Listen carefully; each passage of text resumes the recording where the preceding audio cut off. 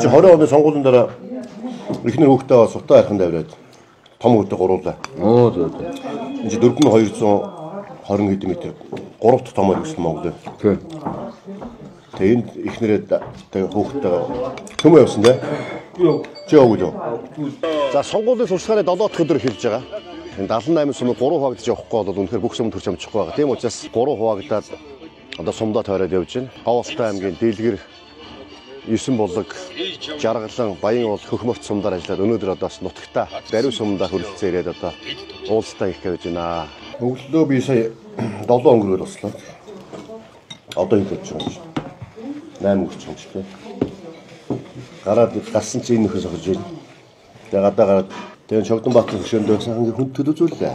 Даруй сум чи Монгол улсын бүх алдартай гавьяатнууд өлгөө нөх байхгүй. Маш олон одоо 10 хөдөлмөрийн баатар. Улсын баатар нэг 10 хөдөлмөрийн баатартай, ардын жүжигчин бас 10-аад та ардын Сайлахад 3. Манай даривсан ингээд хоёр цэцэрлэгтэй, хоёр сургуультай, хоёр спортын заалтай. Бид нар ч бас хөрөнгө оруулалтыг сум сумдаа бол ингэж хийж байгаа шүү дээ. Хамгийн одоо 2008 онд эрчим хүчний шугамд би холбож байсан. 2012 онд замтай болгосон юм сумыг.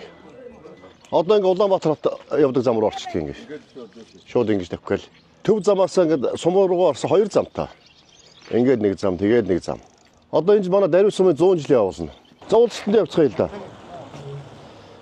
За одоо ингээд дарив сумынхаа иргэд сонгогчдоо уулзалтаа их гээд 10 цаг болж байна. За сайн байна уу? Сайн байна уу? За сайн байна уу та? За сайн байна уу та? Сайн байна уу та?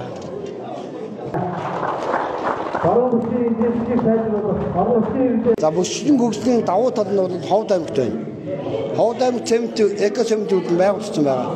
Дараа нь аль ширний үйлдвэр нь байгуулагдсан яригдсан байгаа.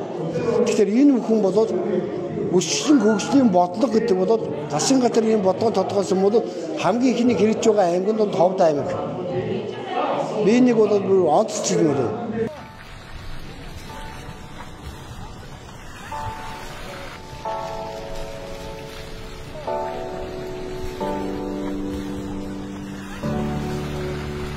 уу? уулзсан амжилттай дуусна. Заахын хүмүүс уулзсандаа яг уулзтыч хоёр бас л нөгөө ордоор гур бороо. Өөртөө хүмүүс ороо гэж болцсон газар бас гур бороо хайсан. Ард гэдэг бас сайхан багаар нь юм. Хийс ажлаа хэлбэртэй мэдээлэл чадвартай туршлагатаас боловсролтой юм санагдав. Ирсэн байна гэдэг нь 10 багаар нь юм. Да.